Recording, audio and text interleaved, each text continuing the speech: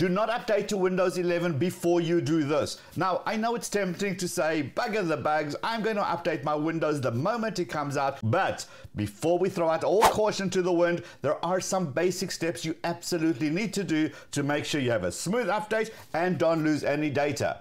So, step number one is update twice. Here is what I mean. Before you take on the big upgrade, just make sure you have the latest and greatest Windows update on your current version of Windows. Simply go to the search, type check for updates, and click on that button to make sure you have the latest. Now, if you do, and you install something, just reboot your system, even if it doesn't tell you to do that. And the reason we want to do that is because we're gonna go back into the same settings. We're gonna click on start, we're gonna click on that search, we're gonna say check for updates, and we're gonna click the check for updates again. Because sometimes the latest version of the software can only be updated and installed if you have a previous version. Since we've just updated something, we just wanna make sure there are no more updates. Do this repeatedly until it says, hey, no more updates. So step number two is the compatible hardware. Now, a lot has been said about the hardware required for Windows 11. Now we have a new PC health checking app. This is the first point that you must go to in order to make sure that your hardware can indeed support Windows 11.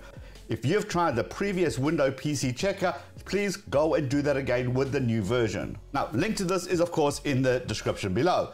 Just run the health check and see what it tells you. Now, don't panic if you don't meet the requirements. Windows 10 will be available and supported until 2025, so you have plenty of time to update your hardware over the years. And remember, many of us are still running Windows 10. Heck, and frankly, there's Windows 7 still floating out there. Now, I will say there's been a whole discussion about this TPM thing. Microsoft has an entire webpage dedicated to show you how to deal with that. Simply follow those steps, change the software in your Windows 10 and in your BIOS. Again, link to all this is in the description description below. So at this point, some of you are thinking, wow, this is just way too technical for me.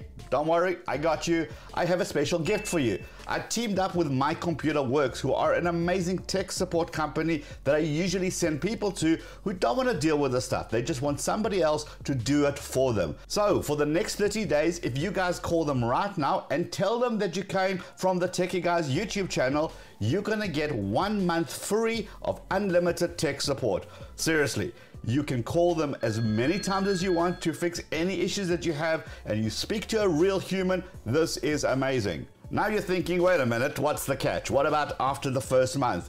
Well, if you love them, you can sign up with them for their monthly unlimited tech support, and that starts at $29.99 on a monthly basis, no long term commitment. So basically, for about 30 bucks, you have somebody to call anytime you have a problem.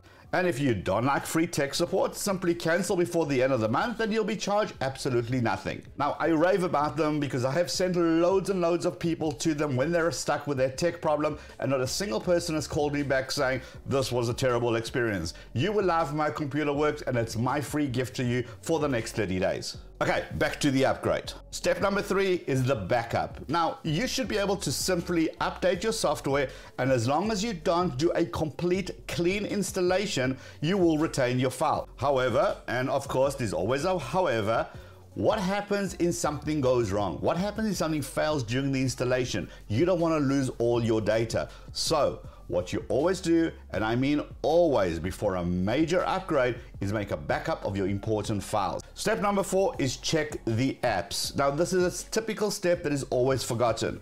Look, if you're running Microsoft Office 365, I'm pretty sure it's going to work with Windows 11. However, what about everything else that you run? Will those apps still work with Windows 11? What about those company apps that the company made you install? You need to have those checked. Simply go to the websites of the app that you have installed on your computer, make sure the software vendor has a Windows 11 listed as being compatible. Now, it's worth noting over here that Windows 11 apps will be available using the Microsoft Store and Android's app will be in that store as well, but that's a video for another time. All right, step number five, and that is called other stuff. Before you can actually upgrade, you will need to make sure that you can sign into your Microsoft account at account.microsoft.com. Now, if you don't have an account for some reason, you can simply create one, and of course, that's free. Now this may be an obvious one, but please make sure when you're doing the update, make sure you are connected to the internet, ideally not using your phone as a hotspot, but rather your home router.